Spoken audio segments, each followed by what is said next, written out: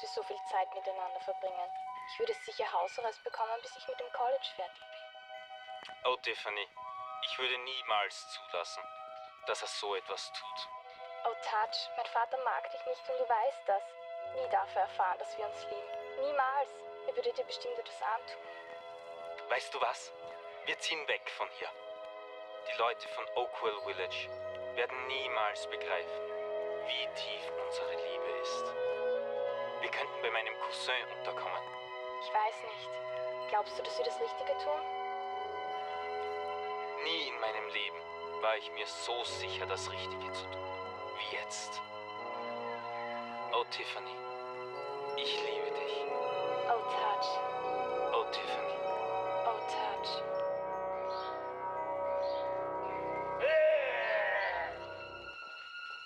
Was war das?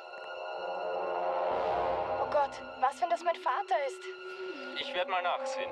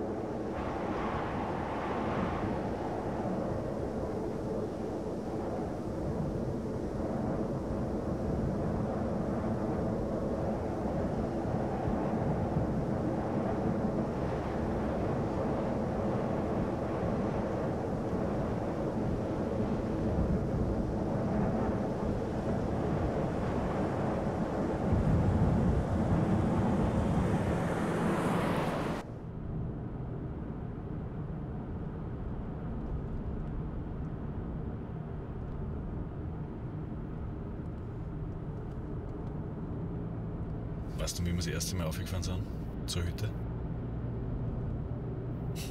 Das war echt schön, oder?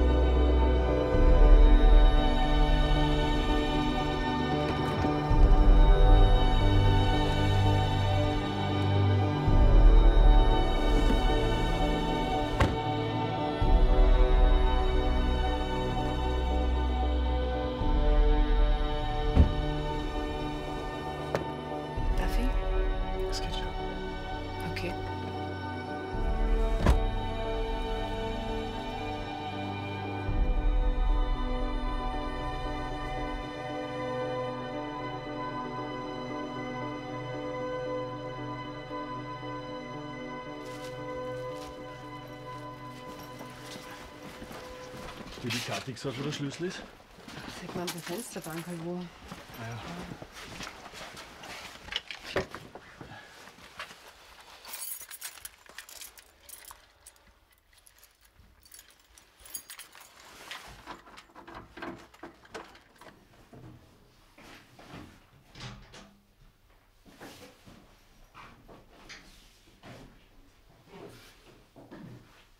Es schaut nicht mehr aus wie beim letzten Mal, als wir rum waren.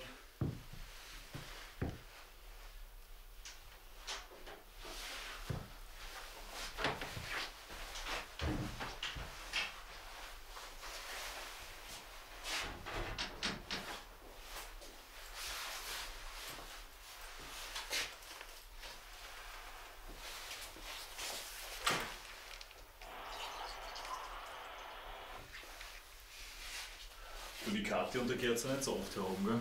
Nein, ich glaube nicht. Das schaut immer gleich aus. Findest du nicht? Kannst du mal sagen, was in deinem Koffer drinnen ist? Dein Schuhschrank oder warum ist der so schwer? Ich wollte ihn nicht selber rauftragen. Das war nur ein Spaß. Wir könnten zum See rüber spazieren, bevor es dunkel wird. Ich wollte. Also, Vielleicht sehen wir wieder ein Reh.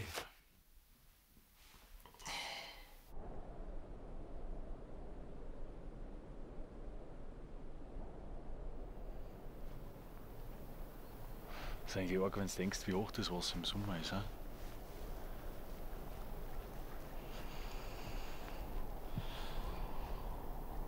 was machen eigentlich die ganzen Fische, wenn das Wasser so zugefroren ist? Die machen Winterschlaf. Ja, genau. Ja. Ja? Manche buddeln sich einfach im Boden ein, machen so Winterschlaf und die anderen, die treiben einfach so herum, um möglichst wenig Fett zu verbrennen. Bis das Eis wieder schmilzt im Frühling. Org?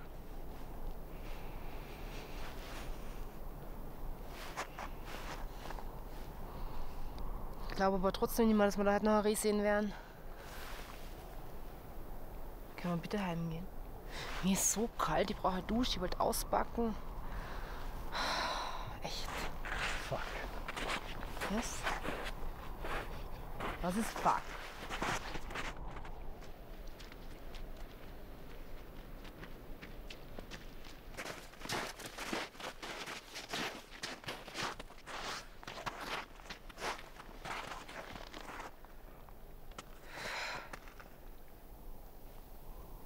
Bitte, was ist das? Ich glaube, das war mal ein Reh. Harry? Bitte, was ist mit ihm passiert? Gefressen worden. Was frisst denn da oben bitte ein Reh?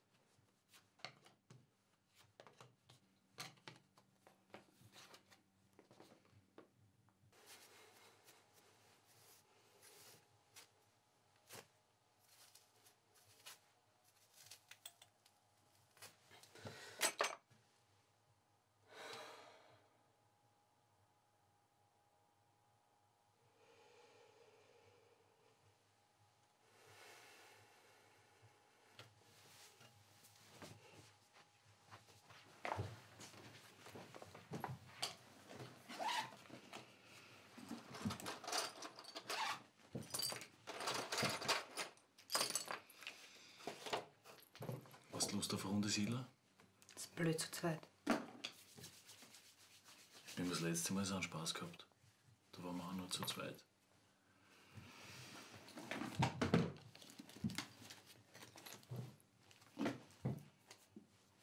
Was machst du jetzt da? Ich bin schon müde, ich will noch lesen und schlafen gehen. Das habe ich extra aufgebaut und jetzt gehst. Lena, bitte eine Runde wenigstens.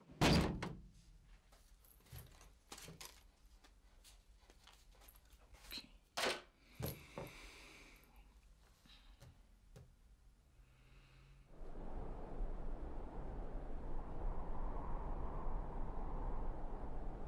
Hierbei macht der westsibirische Schlagdornkäfer seinem Namen alle Ehre. Denn er ist nicht nur ein sehr schneller, sondern auch ein sehr hinterlistiger Jäger. Hat er seine Beute erst einmal ausgemacht, so nähert er sich ja rasch auf nur wenige Zentimeter, um danach seinen Hinterkörper aufzurichten. In diesem Moment peitscht er seine Flügel nach dem Tier aus, so flink, dass es mit freiem Auge nicht zu erkennen ist. Die in den Flügeldeckenplatten versteckten giftigen Dornen werden so in das Opfer gepresst. Hat sich einer der Dornen gelöst und erst einmal festgesetzt, dauert es weniger als eine Minute, bis die ersten Lähmungserscheinungen einsetzen. Ist die Beute erst einmal vollständig gelähmt, trägt er sie in sein weit unter dem Erdboden liegendes Nest, um sie dort zu gegebener Zeit in aller Ruhe zu verzehren.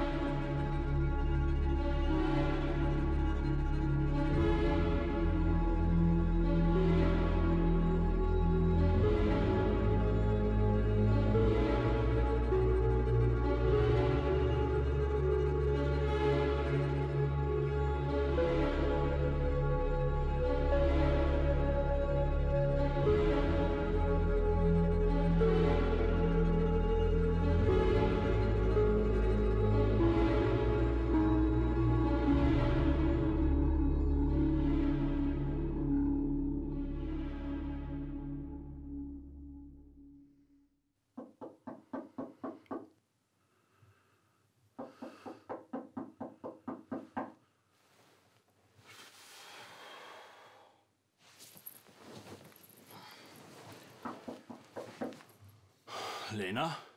Ja? Wer klopft da? Da steht ein Mann mit einem Gewehr vor der Tür.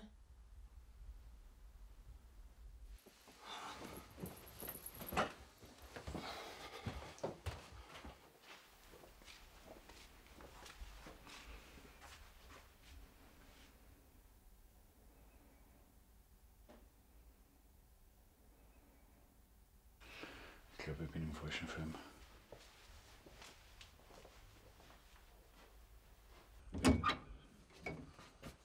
Ach, Grüß Gott. Grüß Gott, entschuldigen Sie die Störung. Ich hätte gern den Herrn oder die Frau Schober gesprochen.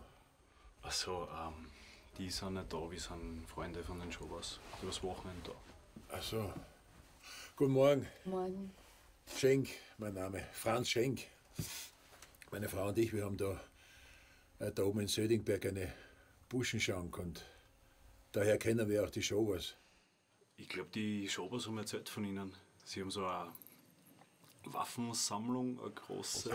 Ja, ja, das ist richtig, ja. Stimmt. Ähm, können wir den Schobers vielleicht was ausrichten, Herr Schenk?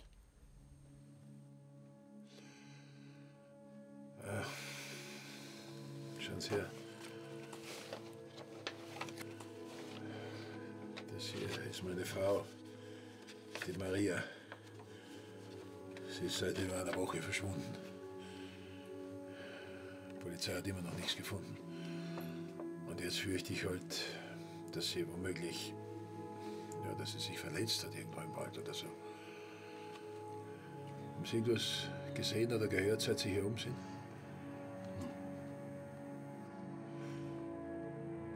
Diesen Schal hat sie umgehabt, wie ich sie zuletzt gesehen habe.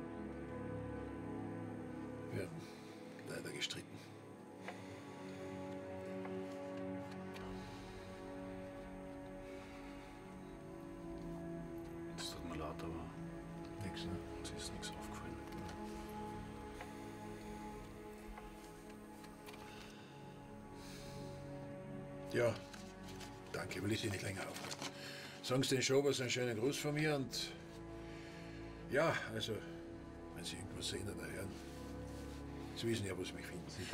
Wiederschauen, danke. Wiederschauen. Wiedersehen.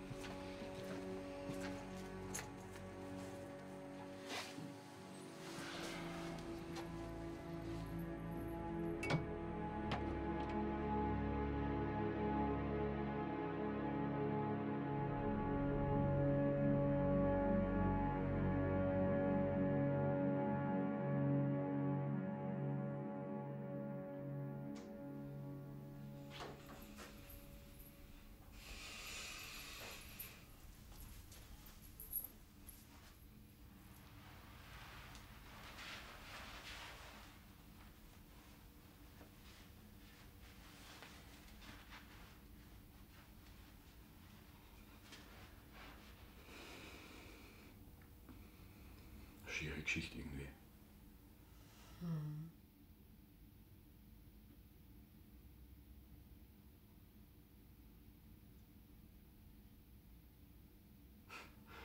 Naja, vielleicht ist ihm die Maria einfach davon gelaufen.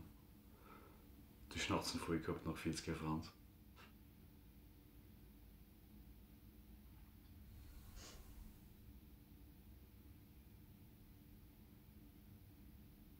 Du, ich hab mir gedacht, bei dem Wetter ist sicher voll schön oben beim Reisinger. Da liegt sicher noch viel Schnee.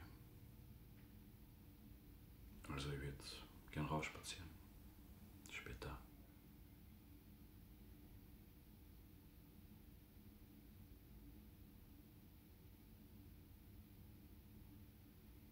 Vielleicht magst du mitkommen.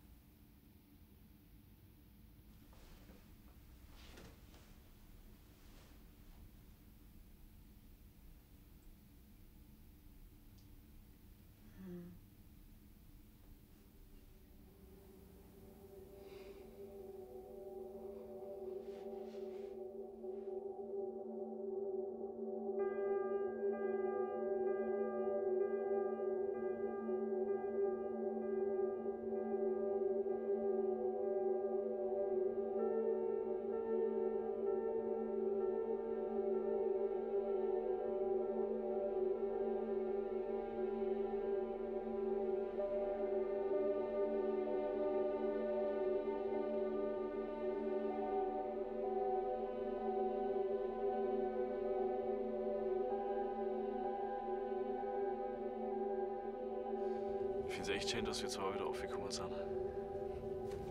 Weißt du, das letzte Mal, wie wir geredet haben, wie cool es wäre, ein Haus da oben. Und du warst voll dafür. Wegen der Luft und so.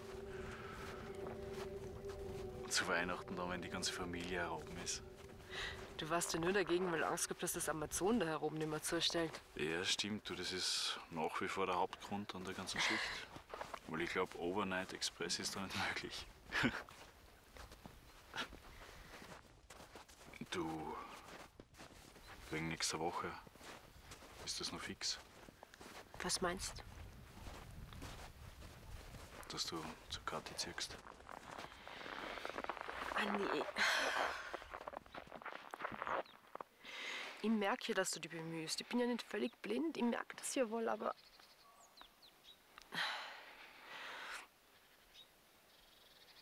Es wäre so einfach, wenn ich einfach alles vergessen könnte, aber das kann ich einfach nicht. Du hast mir, du hast mir so wehgetan. Ich kann einfach nicht mehr vertrauen.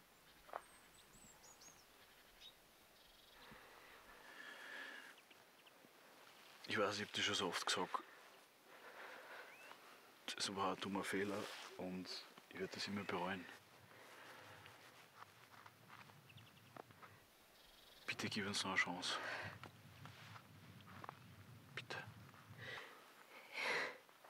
Ich weiß nicht, ob wir zwar noch eine Chance haben. Ich weiß das einfach nicht. Das ist alles nur Geschwafel die ganze Zeit. Das, was du tust, das ist wichtig. Die Daten bleiben bei mir hängen, aber alles andere, das, das interessiert mich einfach nicht.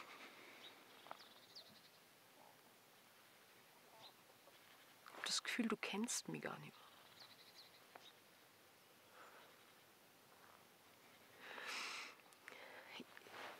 Ich hab keinen Schuhschrank mit. Ich habe zwar ein paar schon mit, wie das letzte Mal auch, meine Wanderschuhe, meine Batschen. Das bin ich gar nicht.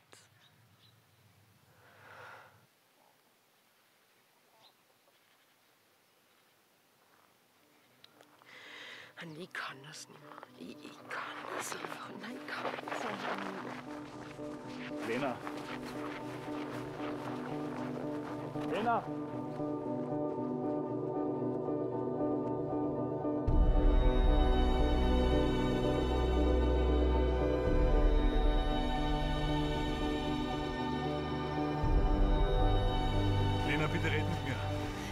mich in Ruhe.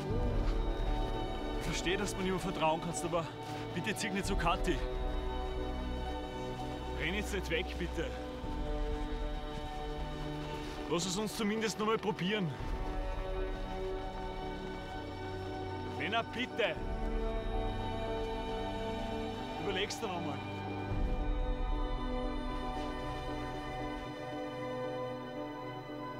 Ich mach seit du mich darauf verschleppt hast, nichts anderes, Andi. Seit wir da heroben sind, setzt du mich dauernd unter Druck, dass ich mit dir so tue, als wäre alles in Ordnung.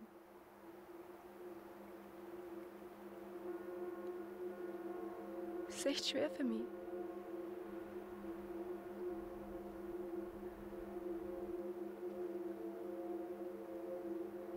Heute Morgen, wo da der Jäger da war und die Geschichte mit seiner Frau erzählt hat. Weißt, warum mir das so traurig war? Als du damals bei ihr warst da. Da ist mir echt nicht gut gegangen.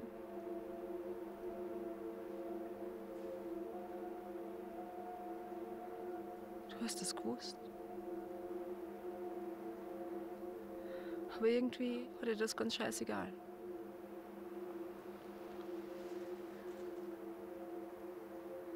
Weißt du, kann mir einfach nicht vorstellen, dass du da jemals hier richtig Sorgen um mich machen würdest.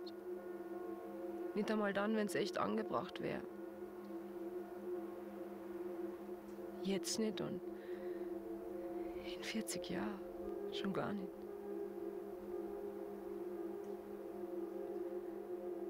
Lena, ich, ich hoffe, du weißt, dass das nicht stimmt. Na, genau das ist der Punkt, Andi. Das war sie nämlich nicht.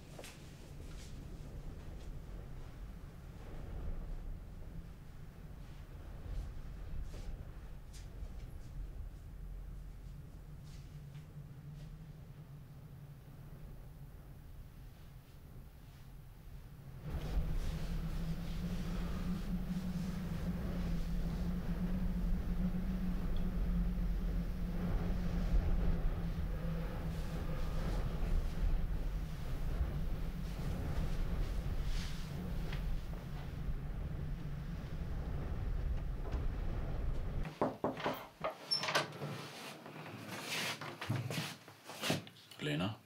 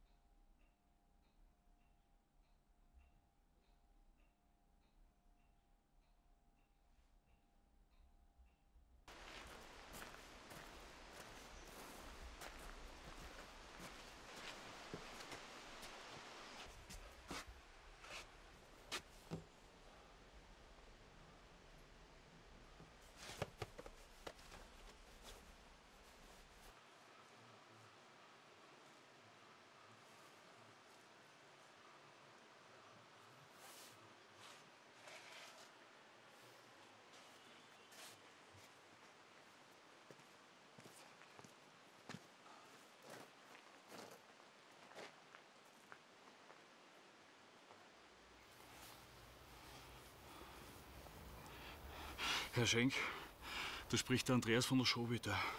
Sie waren gestern bei uns wegen Ihrer Frau. Und zwar ist. Es geht um die Lena, sie ist den ganzen Tag schon.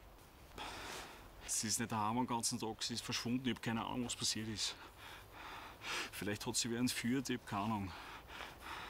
Ich bin jetzt gerade bei Ihnen, aber es ist keiner da. Ich habe jetzt gerade die Nummer gesehen und. Ich weiß nicht, wen ich sonst anrufen soll. Bitte rufen Sie mich zurück unter der Nummer 0676 46 26 444. Ich brauche Hilfe, bitte. Danke.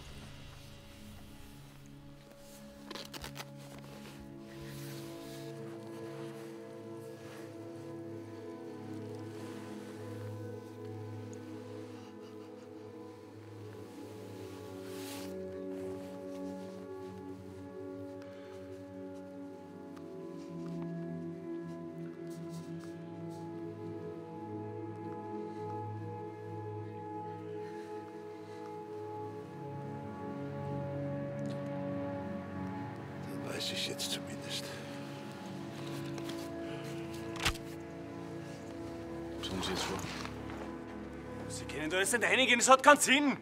Wer weiß, wie viele Viecher da noch drinnen sind. Schau auf deine Frau!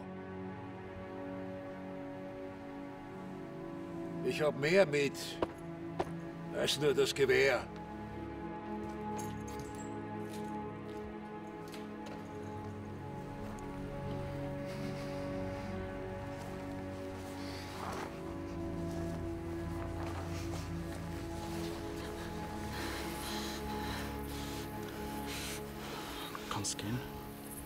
Danke auch schon. Immer. Wer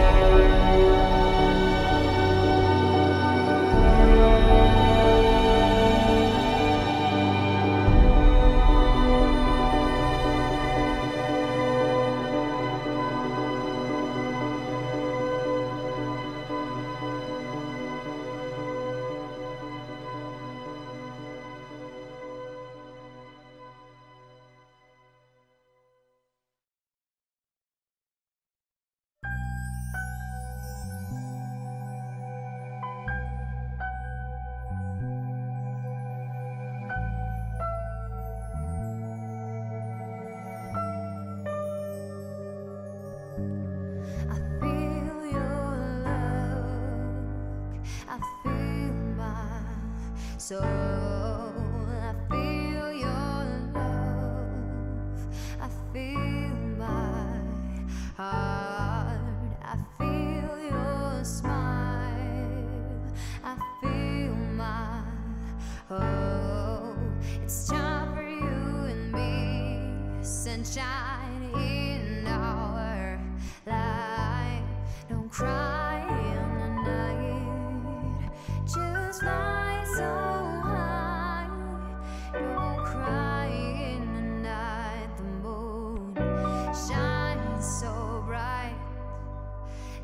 cry